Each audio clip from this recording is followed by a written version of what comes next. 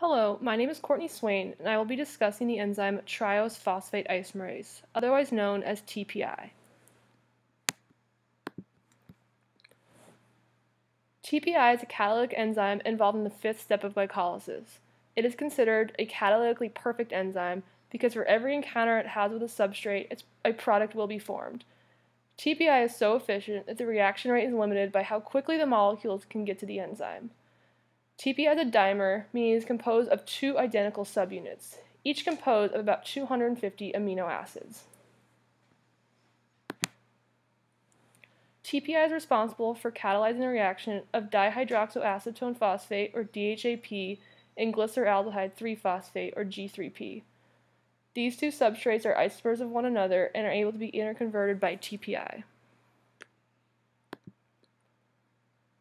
Within the active site of TPI, key enzymes glutamic acid 165 and histidine 95 are responsible for this isomerization reaction, which relies on a rather simple acid-base mediated mechanism. First, glutamic acid 165 acts as a base and abstracts a proton from the C1 carbon of DHAP. Next, histidine 95 acts as a general acid and donates a proton to the C2 carbonyl oxygen. And what is called an enediol intermediate is formed. In the next step, glutamate 165 donates a proton and histidine 95 abstracts a proton from the C1 hydroxyl group. This effectively collapses the enediol intermediate and the G3 product isomer is formed.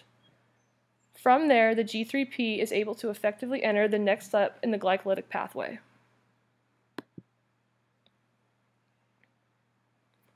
The same reaction takes place in reverse, proceeding with the same enediol intermediate. With either product forming, both active site residues are completely returned to their original forms and the enzyme is flawlessly regenerated. It is because of this unique enzyme that the glycolytic pathway will continue with two molecules of a single isomer and ensures that at this step in glycolysis there is a net energy investment gain.